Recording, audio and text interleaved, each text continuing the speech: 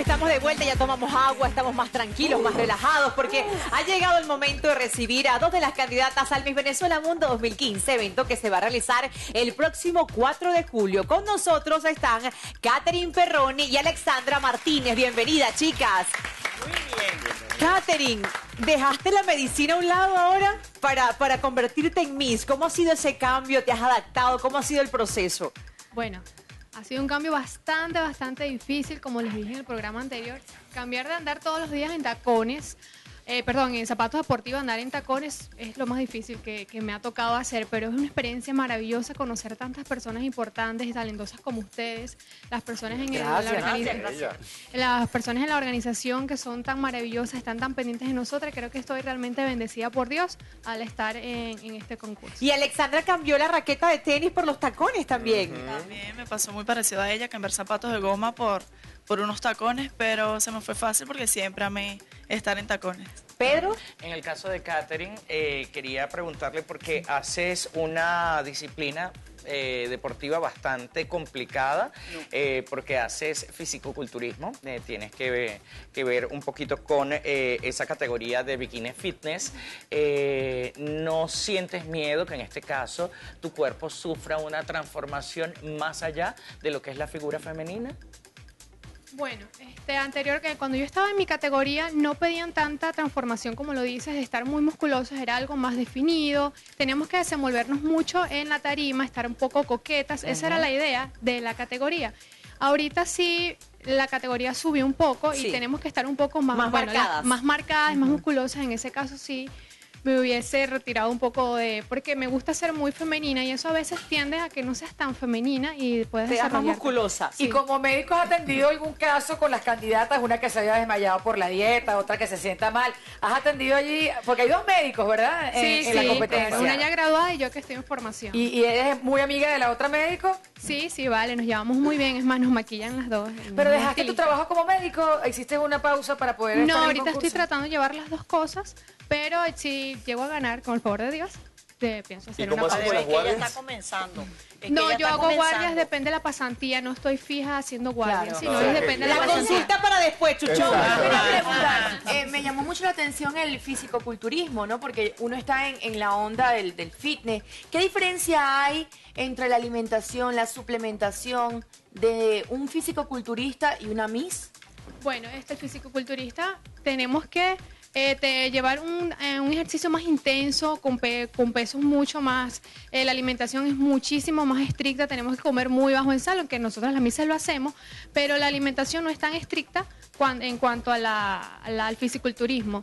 Y bueno, el entrenamiento es muy, muy diferente. Nosotros hacemos entrenamientos más con repeticiones, más eh, este, en el fisiculturismo sí es algo más fuerte. Igual al sedentarismo, ah, tu pregunta para Alexandra, Daniel. Me, encanta eh, que Alexandra, bueno, que me, encanta que estén todos aquí, pero me encanta verte, Alexandra, porque recuerdo el año pasado cuando estábamos transmitiendo los partidos del Mundial de, Fútbol, eh, me tocó ir al Hogar Canario y, el pase me tocaba hacerlo con Michelle Bertolini y te pareciste tú, que eras amiga de Michelle y empezamos a hablar que querías participar en Miss Venezuela, estuviste en el en el reality, no quedaste, pero hoy estás aquí. Me encanta que estés haciendo tu sueño realidad y quiero que le compartas un poco a la gente de esa experiencia. Sí, bueno, así es. Yo estuve, el año pasado nos conocimos en el Hogar Canario, es donde yo soy socia. Ahí estaba con Michelle y Michelle ya te había comentado de que yo quería participar en el Miss. Aún no estaba muy metida en esto. Me estaba comenzando a dar a conocer con los estilistas de Michelle, la gente que la rodeaba a ella. Y bueno, lo intenté el año pasado, no lo logré, pero gracias a Dios estoy este año acá. ¿Cómo te sientes con, esta oportunidad y qué sientes que, o sea, que fue lo que tuviste que cambiar de tu vida para poder lograrlo esta vez? Mi actitud. O sea, tuve que, o sea, sigo siendo la misma muchacha, pero más segura de mí. Sigo... ¿El, el tumbao lo cambiaste? El tumbao lo cambié un poquito. para ver el tumbao. Desfila, desfila. Ajá. ¿Cómo es Una vueltita. Alexandra, ok. Un desfile. Vamos a ver si cambia el tumbao. tú ya la pasaste. A ver. Ajá. Eso. Ajá. ¿Te devuelves? Muy bien. Mira que Giselle, mira que Giselle. Giselle Menos mal que no está William Guzmán, que es el de los puntos. ¿Qué, qué te ha dicho, Gracias. Michelle, qué te ha dicho Michelle Bertolini, este, que ahorita está eh, de vacaciones en Europa? ¿Qué te ha dicho ahora que ya estás, que eres candidata? a Que no le diga nada.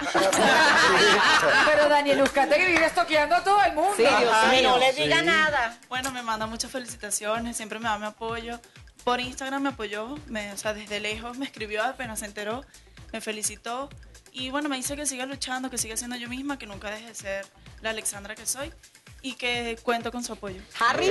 Yo quería preguntarle a las dos, Alexandra y Catherine, si han tenido chance pues, de ver un poco la historia del Miss Venezuela Mundo y del Miss Mundo, porque los dos, tres años anteriores hemos mandado, la organización Miss Venezuela ha mandado candidatas extraordinarias y no han llegado a la clasificación final. Entonces ustedes, que ambas son deportistas y se desempeñan en alguna disciplina, ¿sienten que este puede ser un punto fuerte quizás para llegar a través de uno de los fast tracks de, de- de deporte, quizás a, a ese cuadro más cercano a la corona de Miss Mundo? Los fast track. Bueno, Los yo por mi parte siento que sí tenemos ese punto como a favor, porque ante todo, o sea, los deportistas somos súper saludables, somos unas personas muy saludables y siempre incentivamos al resto de la gente a hacer deporte, a estar igual de activos que uno. Entonces, yo pienso que en el Miss, en el Miss Mundo podemos resaltar esa parte y más que ya se hacen competencias deportivas.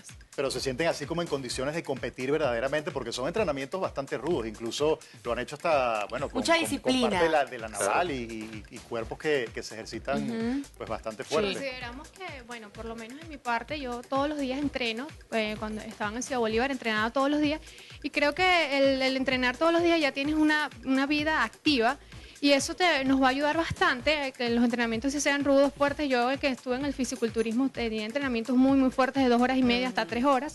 Y puedo... Y eso te crea una disciplina. Pero bueno, chicas, es momento de hacer una pausa comercial. Al regreso, dos candidatas más en nuestro estudio en Se Armó la Tramoya. Ya venimos. Muy bien.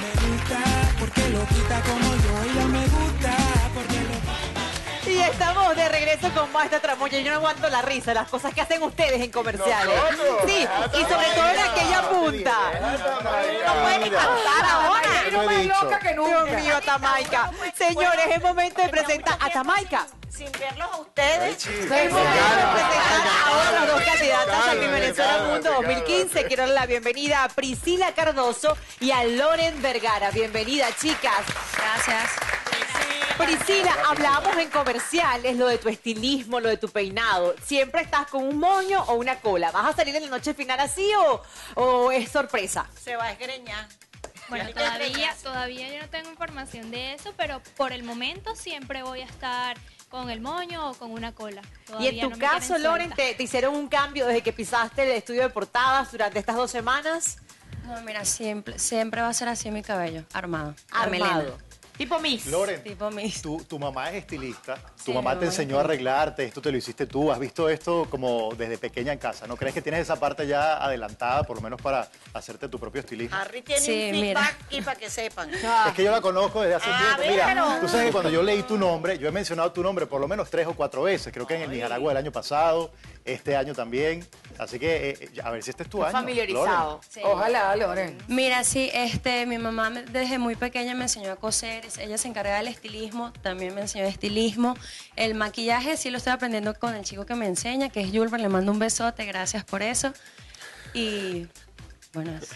Quería Bueno. preguntarte otra, otra cosa. Es que sabes que. Ah, es que la o sea, Julia hay- Ponce- hay empatía. Ah, Hay ¿vieron? empatía. No importa, arriba. Fíjate Está, que está como Jesús, que siempre conoce a las chicas, pero ya le ganó Pero él tiene mira, razones. Son, son mujeres bastante jóvenes, pero Loren, en, en tu caso, que has participado ya en varios casting, casting regionales, incluso en el gran casting que se hizo el año pasado, ¿te ha tocado lidiar un poco quizás con la frustración de no haber quedado y todavía tener pues ese ímpetu de seguir eh, intentándolo el año que viene?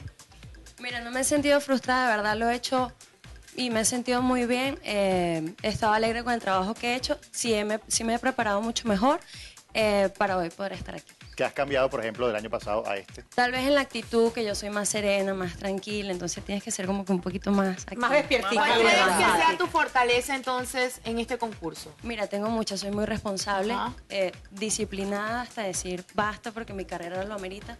Siendo médico, siendo estudiante, siendo estudiante tenías que pasar muchas horas leyendo, muchas horas trasnochadas, no comías a la hora. Entonces yo siempre estaba al pie del cañón ahí. Qué bueno. Mariela. Sí, muchas noches detrás. Sí. de, Una de cirujana, si necesitan un Oye, retoque, ya esta pregunta es para las dos. Primero, Priscila, me encanta porque me recuerda una película que, que es una película ícono de la comunidad gay que se llama Priscila, la reina del desierto. Me Y así no se llamaba la, la esposa de Elvis Presley. Eh, Priscila Presley. Priscila Presley. Ajá. También era la esposa del profeta Zacarías. Qué culta. Cultura, También cultura era la esposa del profeta Zacarías. Ah, mira tú, no sabía esto del profeta Zacarías. Esta pregunta es para ambas, para aquellas muchachas que nos están viendo, cuenten un poco su experiencia de estar participando en Miss Venezuela Mundo y por qué les recomendarían a aquellas que quisieran inscribirse estar allí. Sido muy buena, la verdad, es maravillosa, puesto que rompe los esquemas de lo que es solo la belleza física. El Miss Venezuela Mundo eh, también tiene como que el lema de belleza con propósito y eso es lo que más llama la, la atención de este certamen. Entonces yo motivo a las muchachas a que participen en este certamen, pero que lo hagan de corazón, que, o sea, que sean personas que estén comprometidas con la sociedad. Mira, Priscila, yo tengo mi coordinador No. que me hace No, no, más señas estamos- que un no, fiscal con, Miriam, con no, el no, violín. Pero ya va que Loren no ha Está de respondido. nuevo. Loren, ya va, falta que Loren responda, se la hice a las dos. A ver, Loren. De a dos. Mira, este, yo también animo a las chicas a que vengan a participar. Es un concurso que te abre mucho las puertas, te puede impulsar. Ya, ya sabemos que hay muchas chicas que le encanta la animación, otras que le gusta el modelaje, entonces esto es una gran puerta. ¿Y aquí ti qué te gusta? A mí me gusta el modelaje, me gusta mi medicina, me gustaría a través de este concurso quiero poder desenvolverme y poder ayudar a esas personas. Eh, por ejemplo, en mi proyecto social que quiero hablar sobre la promoción y, el fome- y, la y, la- y fomentar los valores, ya que las personas los están perdiendo y estamos perdiendo muchas vidas. Yo por lo, lo vivo a diario en mi carrera, eh, soy residente de cirugía, llegan miles de personas muertas por hechos violentos, entonces yo quiero tratar de fomentar esa parte. Ok, quiero hacer una preguntita súper rápido y puntual para las dos. En tu caso, eh, Loren, eh, eres una de las que tiene más edad dentro del concurso y en el caso de Priscila es una de las más bajitas y dices que te cuesta luchar con, con la estatura. Eh, ¿Cómo quieren ustedes compensar lo que para muchas posiblemente sea eh, un punto en contra? Yo pienso que la estatura no es un límite, no es limitante, puesto que la grandeza de las personas no se mide por su estatura. Entonces, pienso que no es un límite para mí, siento que tengo todas las cualidades para ganar el certamen del Miss Venezuela Mundo, incluso del Miss Mundo, y no me siento Menos no me por siento eso. mal. Bravo, muy. Queremos escucharla tocar. Yo comparto el comentario de, de Priscila, mi grandeza y mi estatura está en mi corazón y en mi cerebro, nada más. Por favor, está, aquí tienes, Belleza con propósito. tienes el violín para Priscila, vamos a escucharla. Además que también Mientras sería bueno que nos diga si, si su proyecto va a tener algo que ver con la música, tomando en cuenta el auge que tiene la el sistema de. Ponle el micrófono de- cerca. Por ¿Qué favor. va a interpretar hoy, Priscila? Pajarillo, Pajarillo. pajarillo.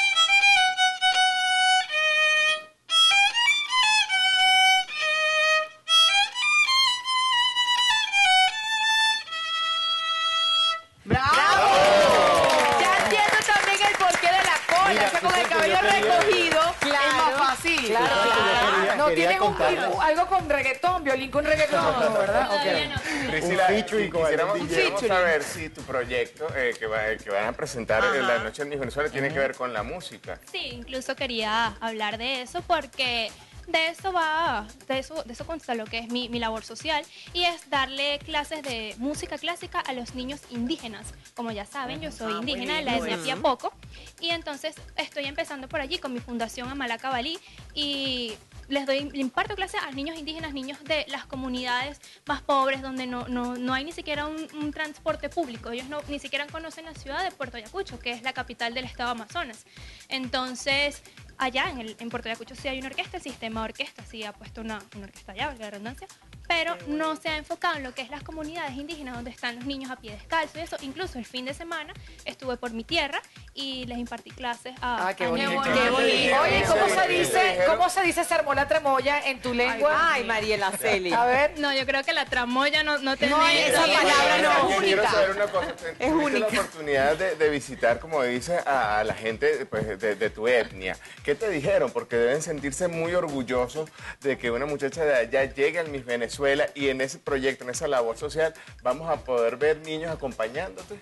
Por supuesto que sí, incluso estuve realizando, como les dije anteriormente, mi labor, nos tomamos fotos, hicimos videos, ellos están muy contentos. bonito. Porque por primera vez una, una representante indígena, con raíces indígenas, eh, los está como que saca- o sea, mostrando, mostrando, me explico, Lo o sea, sea, representando. Qué buen están- mundo. Se sienten muy Bueno, contentos. Bueno, chicas, también es ahí. momento de hacer un corte comercial, pero al regreso seguiremos armando tramoya con las cuatro candidatas que vinieron hoy a nuestro estudio. Ya venimos.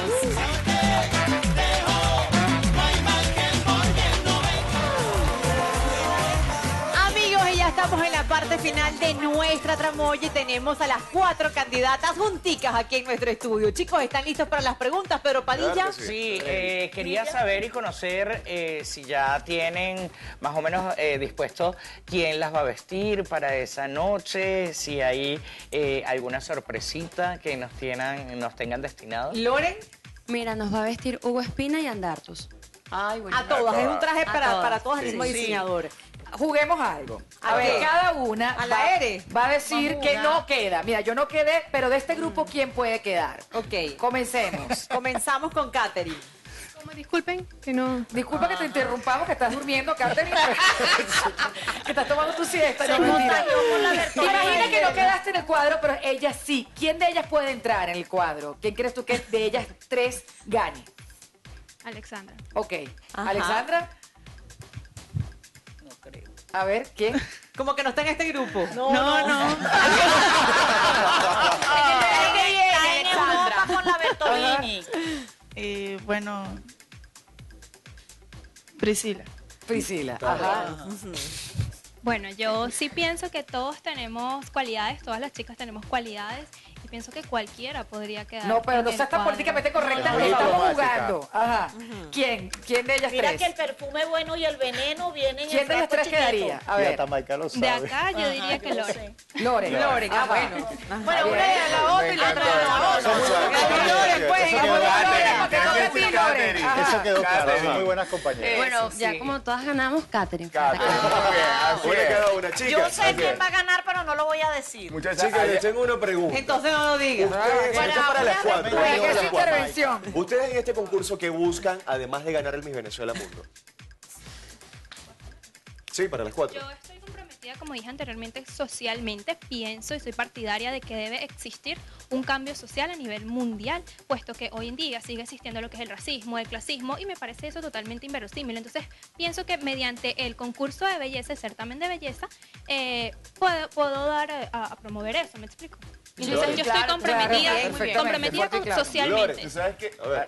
Ah, es para Ah, para las cuatro, para las cuatro. Ah, pero estamos jugando todos aquí con las cuatro. A mí me tocaba a mí y se pregunta todo lo corto, ahora lo pregunto para todas. Vámonos. Mira, mi compromiso también está eh, promover lo que sería la salud preventiva. Buena tu caso?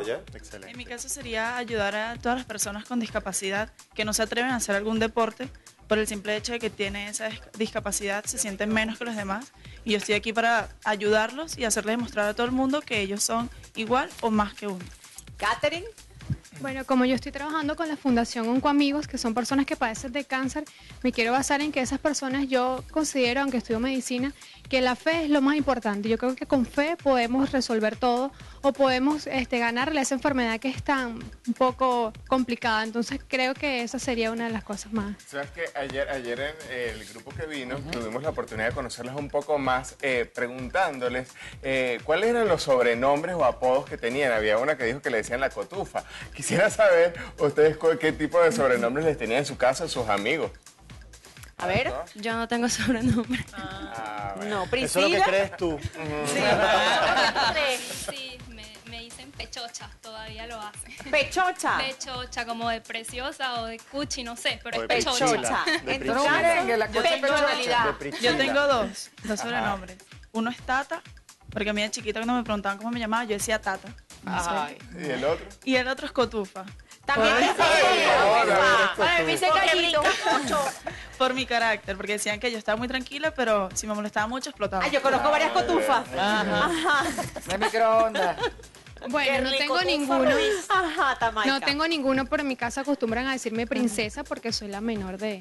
de La más chiquitica La de más todas. chiquitica, pero no sobrenombre así. No, a veces no a perro de playa. Ay, ¿por qué será? Me comía todo. Ah, todavía te lo comes. Mariela. Porque me como todo. Ajá. Bueno, yo de las cuatro me quedo con Priscila. ¿Por qué? Porque me parece que tiene con qué llegar a la final. ¿Qué las hace Es distintas? muy Ah. virtuosa. ¿Qué las hace distintas a ustedes?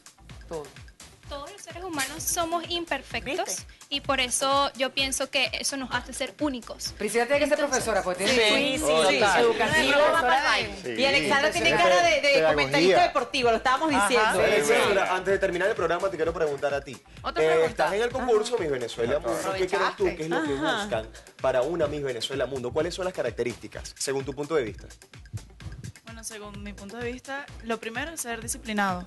Busca una muchacha que sea disciplinada, que sea abierta con el público, con todo tipo de personas, que ayude, que le guste ayudar ¿Y qué mucho. crees que tiene Perfecto. Sí, yo creo que yo me siento una persona sumamente disciplinada. Bravo. Ya va. Hice una pausa en la tramoya ¿Por porque qué? tenemos a alguien por teléfono. ¿Quién? Oh my ¿Quién será? ¿Quién será? A ver, me está indicando el equipo de producción que llamó Osmel Sousa aquí a la tramoya porque quiere que Priscila nos toque con el violín moliendo café en homenaje a Hugo Blanco. ¡Bellísimo! Que paz descanse. A ver. Cuando la tarde languidece, renace en la sombra. Tú eres la modelo del micrófono.